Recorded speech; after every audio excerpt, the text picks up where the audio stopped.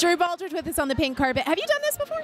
I've never done this. No, I like that you called it the pink carpet because it, It really is. it really is a pink carpet. I've I been mean- telling everybody. It kind of looks like it got washed in the bleach cycle and it became pink instead of red. Yeah, it really does. But no, this is my first ever pink carpet, red carpet, whatever you want to call it. You know, this is lots of firsts this week. My first red pink carpet, Right.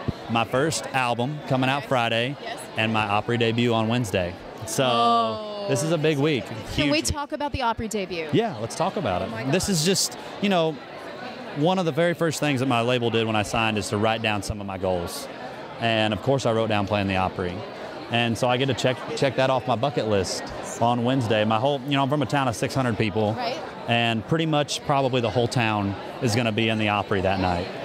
So, so this is exciting. This is a very exciting time. But I'm trying to live in the moment. You know, Right. this is my first red carpet. I'm trying to just not focus on the Opry, not focus on the album, but just enjoy being here tonight. Enjoy seeing all these talented people. And then, you know, Friday, I'll focus on the album. And then the next four days, I'll freak out about the Opry.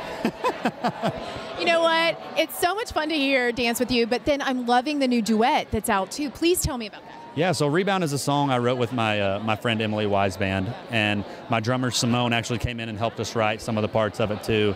But this is a song that everybody's been through. Everybody's been through a situation like this, and it kind of shows empowerment to the listener and kind of gives you that uh, feeling of, hey, I don't have to be a rebound. I can be stronger. I can do this. And you know, SiriusXM has been great to me to put this out. They started playing it.